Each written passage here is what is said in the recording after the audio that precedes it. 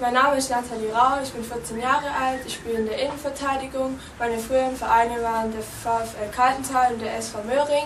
Meine persönlichen Ziele sind, mich weiterzuentwickeln und verletzungsfrei zu bleiben. Und das Ziel mit der Mannschaft ist der Klassenerhalt. NBW. Energie braucht Impulse.